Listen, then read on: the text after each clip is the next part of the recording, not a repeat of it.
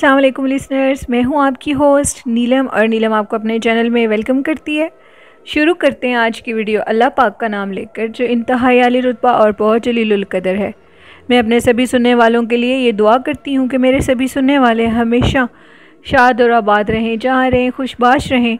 अल्लाह पाक की रहमत और करम भरा साया हमेशा हम सब के ऊपर कायम और दायम रहे। इसी दुआ के साथ आज की स्टोरीज़ जन्नात के किसी कहानियों का सिलसिला शुरू करते हैं।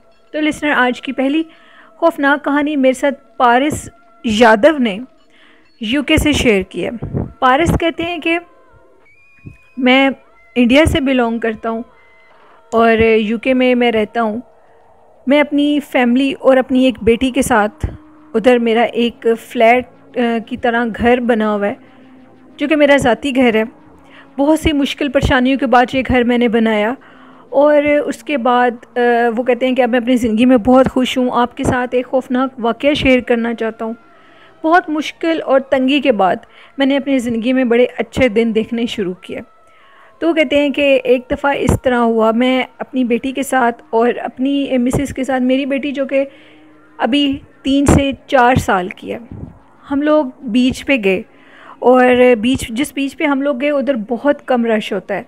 क्योंकि वहाँ पर लोग बहुत कम इसलिए जाते हैं कि वो बिल्कुल ओपन बीच है, उधर जो समुंदर सी है, वो बहुत बड़ा है और उसके आगे उन्होंने कोई मतलब नहीं है, उस, कोई बैरियर्स वगैरह नहीं लगे हुए, जिसकी वजह से उधर लोग कम जाते हैं। लेकिन मेरी जो बेटी है, उसको हर टाइम या तो मैं उठा लेता हूँ या मेरी बीवी जब भी हम बाहर जाते हैं। तो कहते हैं कि मेरी जो मिसिज़ हैं, वो भी गाड़ी में ही बैठी हुई थी।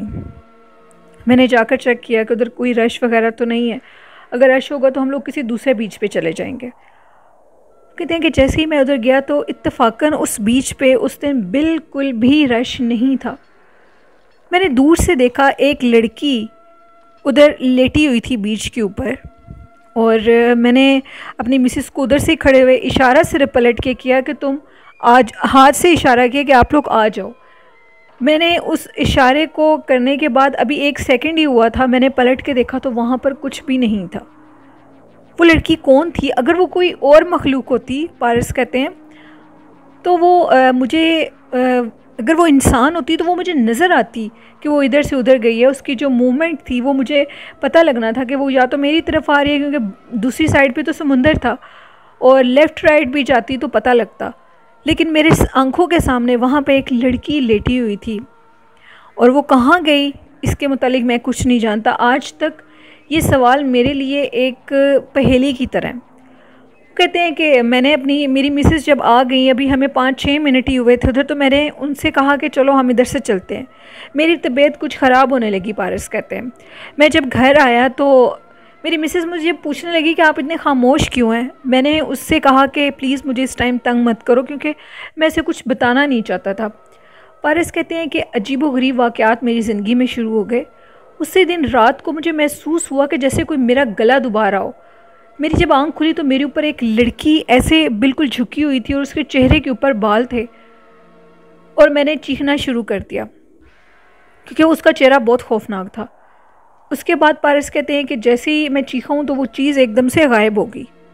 मेरी मिसेज़ और मेरी बेटी मेरे साथ ही लेटे हुए थे। मैं अभी भी, मेरी मिसेज़ ने मुझसे पूछा, मैं उसे कुछ नहीं बता रहा था, इसलिए कि मैं नहीं चाहता था कि वो परेशान हो जाए। जब नेक्स्ट डे मैं दिन में अपने घर अकेला था, मेरी जो मिसेज़ हैं, वो भी एक जगह जॉब करती हैं और जो हम लोगों का हम लोगों की जो बेटी है, वो मेरे पास थी घर पे और उस दिन मैं अपने जॉब पर नहीं गया था। कहते हैं कि अचानक से मेरी बेटी की बहुत ज़्यादा रोने की आवाज़ें आई उसके रूम से। मैं उठकर गया तो मैंने देखा मेरी जो बच्ची थी, उसके जो गला था, वो अपने गले को पकड़ी थी और मेरी तरफ़ इशारा कर रही थी इस तरह कि जैसे उसके गले के ऊपर कोई तकलीफ़ हो। जैसे मैंने देखा और मैंने उसकी नेक को देखा तो उसकी नेक के ऊपर बहुत बड़ी फिंगर्स के निशान थे, चार से पाँच। मैंने अपनी बेटी को देखा और सीने से लगाया और उसको उठाकर बाहर ले आया। अब ये बात बढ़ती जा रही थी।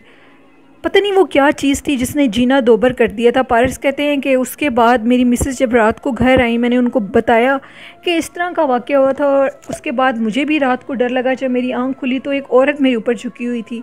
उसके बाद हम लोगों की बेटी के साथ भी इस तरह का वाक़ पेश आया। मेरी मिसेस ने जब उसके नेक पे निशान देखे तो वो भी डर गई बहुत ज़्यादा। फिर हम उधर किसी से हमने पूछा तो उन्होंने हमें किसी कोई उधर फादर थे, उनका पता बताया हम उनके पास गए जब हम उनके पास पहुँच गए, उन, उन्होंने सारा कुछ चेक किया। चेक करने के बाद बताया कि वो, जो तुमने उधर वो चीज़ देखी थी, वो कोई गैर मरी मखलूक थी, यानी वो कोई चुड़ैल, कोई असेब, कोई जिन ही थी, जो कि अब तुम्हारे पीछे पड़ गई है। उन्होंने फिर मुझे बहुत से तावीज़ दिए। आज तक पारस कहते हैं कि वो चीज़ मेरी ख्वाब में ज़रूर आती है, चाँद की मखसूस तारीख़ों पे। वो चीज़ मेरी ख्वाब में आती है और जब भी मैं सोकर उठता हूँ तो मेरी नेक के ऊपर निशान होते हैं फिंगर के निशान होते हैं। कहते हैं कि मैं नहीं जानता था कि मेरी इतनी अच्छी ज़िंदगी अचानक से एक लम्हे में इस तरह बिखर जाएगी। वो कहते हैं कि जब ऐसी चीज़ें पीछे पड़ जाएँ तो आपके ज़िंदगी के तमाम मामूलात में बहुत ज़्यादा मुश्किल परेशानी बन जाती है। पारस कहते हैं, उसके बाद हम लोग वापस पाकिस्तान आ गए। सॉरी हम लोग इंडिया चले गए वापस। और तीन चार माह की लीव पर मैं आया हुआ था। मैं अपने, मैंने अपने घर, अपनी फैमिली के साथ टाइम गुजारा स्पेंड करने के बाद। मैं जब वापस जाने लगा तो अभी तक मुझे वो चीज़ याद है। हम लोग हम लोग जब इंग्लैंड एयरपोर्ट पे पहुँचे तो वहाँ पर मुझे उसी तरह की लड़की फिर ज़मीन पर लेटे हुए नज़र आई और मेरे दिखते ही वो गायब हो गई। आज तक वो मेरी ख्वाब में आती है। वो मुझे कभी ना कभी दो से चार माह के बाद हकीकत में ज़रूर नज़र आती है। जितने भी तावीज़, जितने भी तांत्रिक के पास चला जाऊँ, लेकिन ये चीज़ मेरी जान नहीं छोड़ती। ये एक स्टोरी थी पारस की जो उन्होंने यूके से शेयर की। बहुत शुक्रिया पारस अपनी स्टोरी शेयर करने के लिए।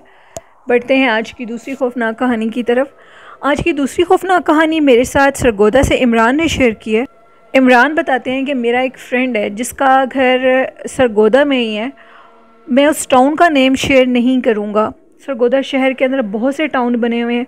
कुछ टाउन्स थोड़ा सा गाँव की साइड पर है, यानी कहते हैं कि पचास चक है, जिसके करीब वहाँ पे एक टाउन बना हुआ है। उस टाउन में मेरे फ्रेंड का घर है और मैं अपने फ्रेंड के पास अक्सर जाया करता हूँ। कहते हैं मेरे फ्रेंड हम लोग बैठे हुए थे रात के टाइम उनके टेरेस पे बैठे हुए थे। हम लोग बारबेक्यू पार्टी कर रहे थे। तो मेरा जो फ्रेंड है, उसके घर के बाहर एक क्यारी बनी हुई है फूलों की। तो उन, उस क्यारी पे हती के चंबेली के फूल नहीं थे, लेकिन चंबेली के फूलों की खुशबू आ रही थी। मैंने अपने फ्रेंड से पूछा कि वो जो क्यारी सी खुशबू आ रही है, तुम लोगों के सारे घर में ये खुशबू महकी है? तो ये इधर चमेली के तो फूल नहीं है तो ये खुशबू कहाँ से आ रही है? दूर दूर तक उस इलाके में इस क्यारी के अलावा बाकी जगहों पे दरख्त वगैरह लगे हैं, लेकिन चम्बेली के फूल नहीं लगे हुए थे। मैं शुरू से अपने दोस्त के घर आता हूँ। मेरे दोस्त के जो वो क्यारी थी फूलों की, उसमें भी फूल कुछ और लगे हुए थे जिनकी खुशबू नहीं थी। वो कहते हैं कि मेरे दोस्त ने बड़ी अजीब सी बात मुझे बताई। उसने कहा कि हम लोगों की ये जो क्यारी है, इसमें जन्नात के बच्चे यहाँ पर अक्सर लोगों को खेलते हुए नज़र आते हैं, शाम के टाइम, मगरिब के बाद, जब बिल्कुल अंधेरा हो जाता है। क्योंकि वो जो टाउन है, मेरे फ्रेंड का जिधर घर है, वो टाउन बिल्कुल आबादी से दूर है और उसका घर भी इस टाउन के सबसे एंड में है। तो उसने कहा कि अक्सर इधर से खुशबू वगैरह आती है, जिसकी वजह से बच्चों को खेला जा, खेलते हुए देखा गया है। बहुत से मोहल्ले के लोगों ने बताया कि आपके ये जो फूल जो इधर लगाए हैं, इधर अक्सर बच्चों को खेलते हुए देखा है। और वो जो बच्चे हैं, वो फिर देखते देखते गायब हो जाते हैं। ये एक स्टोरी थी इमरान की, जो उन्होंने सरगोदा से शेयर की। बहुत शुक्रिया इमरान। बढ़ते हैं आज की तीसरी खौफनाक कहानी की तरफ़। ये कहानी मेरे साथ शेयर किया विकास गुप्ता ने, इंडिया, मुंबई से। वो कहते हैं कि मेरे फादर का बहुत बड़ा भैंसों का फार्म हाउस है और वहाँ से हमारे पास अक्सर लोग आकर दूध वगैरह भी लेकर जाते हैं। अब हमने उस फार्म हाउस को बिल्कुल खाली कर दिया शायद कि किसी ने जलकर जलसी में हमारे ऊपर जादू करवा दिया या जो भी, लेकिन इतना बड़ा फार्म हाउस, जिससे हम लाखों रुपए कमाते थे। उस फार्म हाउस को किसी की नज़र लगी या किसी अपने ने या किसी दोस्त ने, जिसने भी काला जादू डाला उसकी वजह से उस फार्म हाउस पे बड़े अजीब से वाक़ात होने लग गए थे। वो कहते हैं कि फार्म हाउस पे रात के टाइम आग लग जाती थी, जिससे जानवर बहुत ज़्यादा डर जाते थे। जो वहाँ का हम लोगों का चौकीदार था, वो ये कहता था कि रात के टाइम अक्सर फार्म हाउस के अंदर आग लगी हुई नज़र आती थी। करीब जाते थे तो आग नहीं होती थी। वो कहते थे कि उधर एक अजीब मखलूक जिसको सरकटा कहते हैं, विकास कहते हैं कि हम लोगों के जो मज़हब में इस चीज़ के ऊपर यकीन रखा जाता है कि ऐसी मखलूक़ हैं और ये जो सरकटा जो इन जन्नात की किस्म है, ये अपना वजूद रखती हैं। चौकीदार ने कहा कि रात के टाइम वहाँ से जहाँ पे भैंसें, चारा खाती हैं, वहाँ से एक इंसान नुमा मखलूक, लेकिन उसका सर नहीं है और वो बाहर निकलता है और वो भैंसों को बहुत ज़ोर से मारने लग जाता है। विकास कहते हैं कि ये बात भी सुनी, फिर उसके बाद चौकीदार ये कहता है कि एक दिन मैं दूध भैंसों का दूध दोने के लिए जा रहा था तो मैं क्या देखता हूँ कि जैसे ही मैं भैंस का दूध निकालने लगा हूँ निकालने के लिए बैठने लगा हूँ तो मेरे से पहले उधर एक स्नेक, एक बहुत बड़ा कोबरा सांप, वहाँ पर वो उस भैंस का दूध पी रहा था। जैसे ही मैंने उसको देखा तो मैं डर गया उस सांप ने उसको यूँ लगा कि जैसे मैं उसको देख रहा हूँ, जैसे वो मेरी तरफ़ मुतवजह होना चाह रहा था। और उसने मुझे देखा और वो वहाँ से भाग गया, वो जो सांप था। वो कहते हैं कि ये अजीबो गरीब वाक़ात चौकीदार ने बताने शुरू कर दिए, जिस पे वो विकास कहते हैं, मेरे पापा ने कहा कि हो सकता है कि ये चौकीदार इस जॉब को छोड़ना चाहता है। शायद ये झूठ बोल रहा है इसलिए इसकी बात पे यकीन मत करो, जब तक हम दोनों बाप बेटा ख़ुद उधर जाकर ये सब कुछ नहीं देख लेते। उस चौकीदार ने हमें कहा कि अगर आपको मेरी बात पे यकीन नहीं है तो आप लोग एक रात इधर गुजारें और आप सब लोग खुद देख लेंगे कि क्या हो रहा है। विकास कहते हैं, मैं, मेरे अब्बू और मेरे दो कज़न हम लोग उस दिन अपने फार्म हाउस पे रहने के लिए चले गए। हम लोगों के फार्म हाउस पे हम लोगों ने एक छोटा सा ऑफ़िस भी बनाया हुआ है। अक्सर मैं उधर जाया करता था।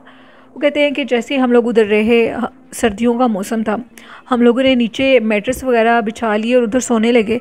तो पहले तो बाहर से चिल्लाने की और चीखने की आवाज़ आई। जब हम उस आवाज़ की तरफ़ मतवजो हुए, मेरे अब्बू उठे, मेरे दोनों कज़न हम लोगों ने कहा कि अब हमें बाहर से देखना चाहिए। उस टाइम तक मेरे अबू यही शक कर रहे थे कि जो वहाँ का चौकीदार है, शायद ये उसकी शरारत है। वो कहते हैं कि जैसे ही हम लोगों ने जाकर देखा तो वहाँ पर कोई भी नहीं था। चौकीदार जो कि बिल्कुल मेन गेट वाली साइड पर होता है मेन गेट थोड़ा दूर है, जो हम लोगों का फार्म हाउस था, वो बहुत बड़ा था। वो कहते हैं कि हम लोगों ने कहा कि अब हम लोग देखते हैं जाकर। तो जो भैंसें थी, वो उधर भैंसों वाली जगह पे बहुत हलचल हो रही थी। हम लोगों ने अपनी आँखों से देखा कि एक शख्स है जिसकी हमारी तरफ़ कमर है और उसका जो सर है, वो ना होने के बराबर है। और वो भैंसों को ज़ोर ज़ोर से मार रहा था। इतने ज़ोर ज़ोर से कि भैंसों ने चिल्लाना शुरू किया हुआ था। मेरे मेरे जो पापा जी हैं, वो बकायदा उधर आगे को गए, बहुत बहादुर हैं वो, और वो आगे हुए तो आगे होने के बाद वो कहते हैं कि उन्होंने उससे कहा कि कौन हो तुम? लेकिन वो जो चीज़ थी, वो हमारे देखते देखते ही जहाँ पर भैंसें चारा खाती हैं, उसके अंदर उसने छलांग लगाई और हमने आगे जाकर देखा तो वो चीज़ गायब हो चुकी थी। इस तरह के बहुत से वाक़ात रोज़ पेश आने लगे। हम लोग उधर रात भी रुके, रात रात में ये सारे वाक़ात हमने देखे। फिर मेरे पापा को यकीन आया कि चौकीदार सच कह रहा है। हम लोगों ने फिर, हम लोगों की काफ़ी भैंसों का नुकसान हुआ। कहते हैं कि सौ से ज़ायद भैंसें उस एक माह के अंदर वो उधर दम तोड़ गई और फिर उसके बाद हमने उस जगह को बंद कर दिया, एक नया फार्म हाउस रेंट पे लिया। उधर जाकर हम लोगों ने काम शुरू कर दिया, लेकिन हमें उस काम में भी कामयाबी ना हुई। और आखिर ये हुआ कि भैंसें कुछ बेच दी और इतना नुकसान हुआ और उस काम को ख़त्म कर दिया गया। विकास कहते हैं कि अपने बहुत से होते हैं जिनके मुतालिक हम नहीं जानते कि सब हंस के मिलने वाले दोस्त नहीं होते। बाद में जब किसी तांत्रिक को वहाँ लाया गया तो पता लगा कि किसी ने काला जादू करवा दिया था हम पर, जिसकी वजह से काले जादू से वो मखलूक उधर हावी हो गई थी। उनको तैनात कर दिया गया था कि हम लोग उस जगह को छोड़ दें, हम लोगों को लॉस हो और हम लोग वहाँ से चले जाएँ। उस लॉस के बाद हम लोग बिल्कुल भी बढ़ नहीं सके आगे। और आज तक कहते हैं कि अभी भी मेरे पापा बिज़नेस करते हैं, लेकिन हमें बहुत ज़्यादा कोई उस बिज़नेस में कामयाबी नहीं है। ये एक स्टोरी थी विकास की, जो उन्होंने मेरे साथ शेयर की। इंडिया से बहुत शुक्रिया विकास अपनी स्टोरी शेयर करने के लिए। तो लिसनर्स ये थी आज की खौफनाक कहानी। अपना फ़ीडबैक ज़रूर दिया करें। और जिन्होंने अभी तक अपनी खौफनाक कहानी है मेरे साथ शेयर नहीं की तो डिस्क्रिप्शन बॉक्स में मेरे ईमेल आईडी और फेसबुक आईडी पे और कमेंट बॉक्स में स्टोरीज़ को शेयर कर सकते हैं। और आप लोग ज़्यादा से ज़्यादा मेरे चैनल को सब्सक्राइब करें शेयर करें और लाइक करें। इसी के साथ अपनी होस्ट नीलम को इजाज़त दीजिए। मुझे और मेरे वालदेन को अपनी दुआओं में याद रखिएगा और आप अपने और अपने वालदेन का ढेर सारा ख्याल रखिएगा। अल्लाह हाफिज़।